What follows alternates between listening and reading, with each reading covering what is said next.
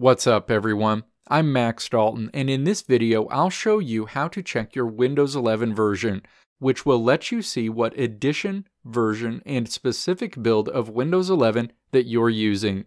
With Windows 11 still being in its early stages, users are going to run into bugs and problems with the operating system. When this happens, an important part of troubleshooting the issue is to know what edition, version, and specific build of Windows 11 that you're using.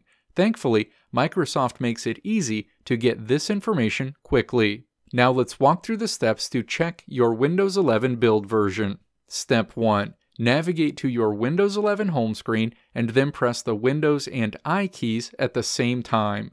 The Windows settings screen will be displayed. Step 2. Scroll down to the bottom of this list of options and then click About. The About screen is shown.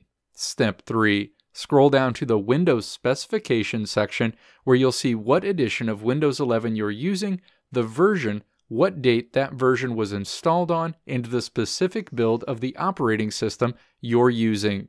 Let me know if this video helped you out in the comments below. If you liked what you saw here, click the video links on the right side of the screen to check out another video. Or click the logo on the left side of the screen to check out my tutorial website at www.maxdalton.how.